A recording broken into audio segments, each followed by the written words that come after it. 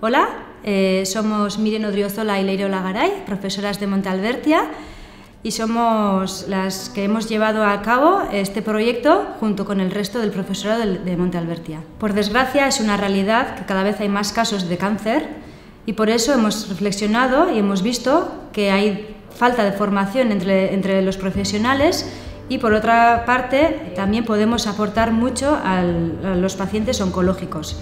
Y hemos hecho este proyecto junto con el oncológico de Donosti.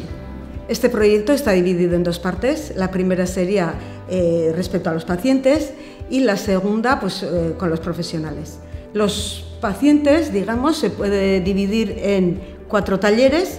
El primero sería automaquillaje, asesoramiento sobre el automaquillaje, que se centra un poco en las cejas y en las pestañas.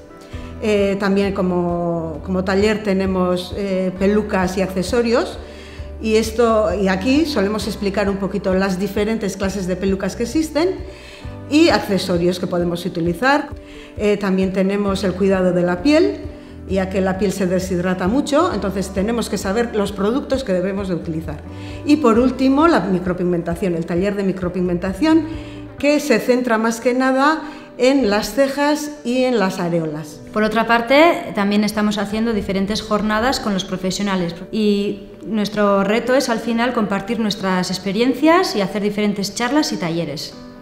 Bueno, con esto hemos conseguido pues, la empatía que necesitan tener los, los alumnos y subir un poquito la autoestima de los pacientes. El poder ayudar a los enfermos mediante esta experiencia me hace sentirme bien, ya que le podemos aportar algo y vemos reforzada su autoestima. Bueno, a mí me parece que los peluqueros somos muy chicharacheros, muy positivos y me parece que siempre venimos con una sonrisa a trabajar y poder transmitir toda esta felicidad, toda esta sonrisa a gente que no, no está pasando por su mejor momento me parece muy importante.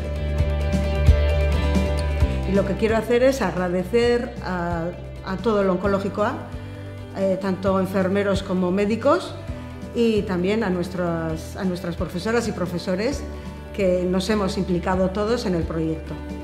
Y por supuesto los alumnos.